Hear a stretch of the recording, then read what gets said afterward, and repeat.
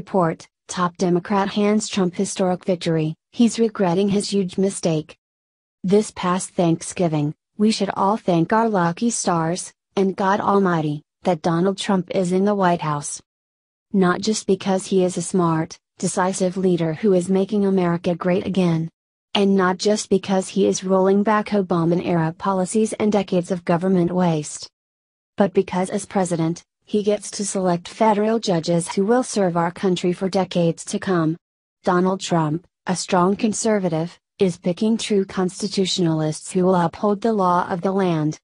Now we are learning that two unlikely congressmen have made Trump's job of appointing judges all the more effective.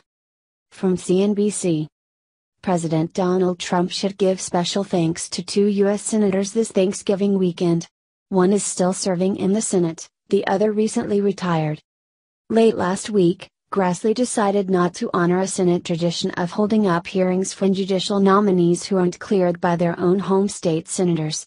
That tradition is known as the blue slip courtesy born out of time before nationwide communication technology when a given state's senators had access to much more information about nominees than their colleagues from the rest of the country. Grassley correctly noted that Democrats were now trying to use the blue slips tradition to replace the filibuster, and he's having none of that.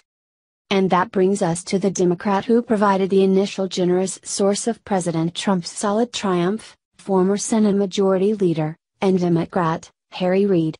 Reid is a major reason this good fortune has befallen President Trump because Reid was the one who killed the filibuster rule for judicial nominees in 2013.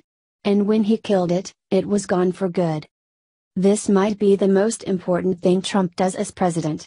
The judges he appoints will most likely serve for their entire lives, at the very least decades until they retire. These men and women will make major decisions that will affect every American. Instead of radical liberal activists in these seats, we will have people who stick up for the Constitution. Thanks to Grassley, Democrats in Washington won't abuse an outdated rule to prevent the appointments. Even more unlikely was Harry Reid's decision, years ago, to eliminate the filibuster rule. He did it to help Obama and future Democrats. Obviously, he didn't foresee a Republican ever taking the White House. Even more awesome is the fact that Trump will appoint more judges than Obama.